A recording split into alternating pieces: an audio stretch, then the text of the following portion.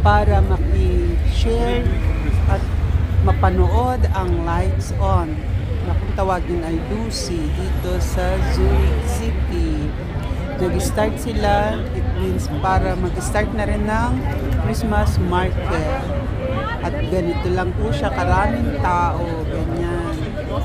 Parang wala nang mapaglagyan, nanonood lang ng lights on. At the same time, makiki-chika, makiki-nood, taan, buy na market for Christmas market dito sa Zurich at all around the Switzerland. Ayan.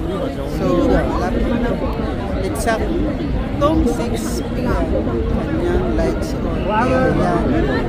Mga pulis, ayan, mga tao, iba-ibang lunch, manonood. Ayan, may may bata, may mga kasama mga turista, ayan.